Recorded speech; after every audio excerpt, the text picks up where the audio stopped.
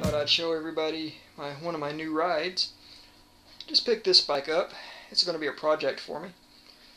Uh, a little $79 bike at Walmart. I added the uh, luggage rack with the case and the handlebar rack. Of course, I added the uh, let's see here, the water bottle and the air pump. It's got the, the fenders on it.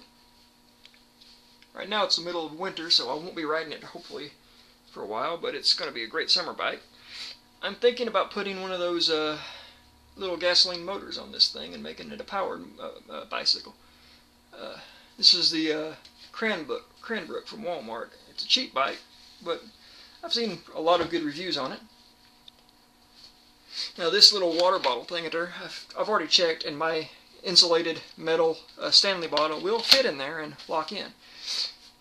Uh, see here, I added this little headlight to it. Uh, it's got a in this handlebar bag, which I you know plan to keep stuff in.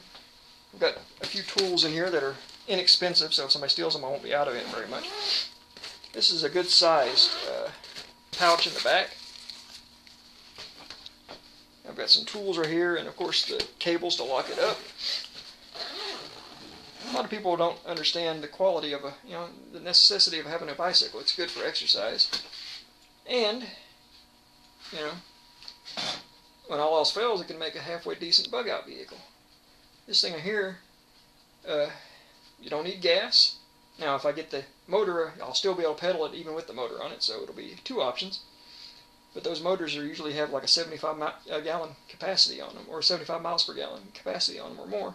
So, but you know, I thought that you know this would be a good little idea for my you know for a last ditch bug out vehicle, and I think it's a good looking bike too.